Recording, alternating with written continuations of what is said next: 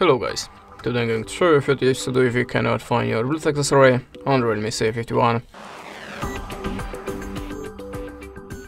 So, when I have a problem with my headphones or another Bluetooth gadget, I'm always starting from the simplest way, just switch off and switch on again the Bluetooth connection to restart it. You can also try to restart your phone by holding the power button for a few seconds. After that, restart your phone and try to look for your device again. Uh, at the start you have to be sure that your Bluetooth accessory is in the pilot mode and how to activate pilot mode in your device you will find a manual or maybe on your YouTube channel, so just check it and be sure that your Bluetooth accessory should be visible for other devices, but is still not for a phone. Go to the settings, slide down to the system and look for the reset options.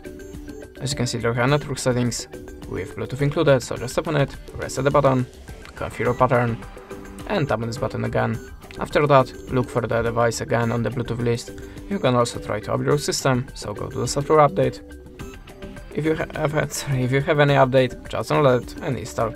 And the last recommendation from me, check your Bluetooth accessory and your phone or another Bluetooth device to check which one is visible, which one is making problem here. That's it, thanks for watching, let's like, recommend and goodbye.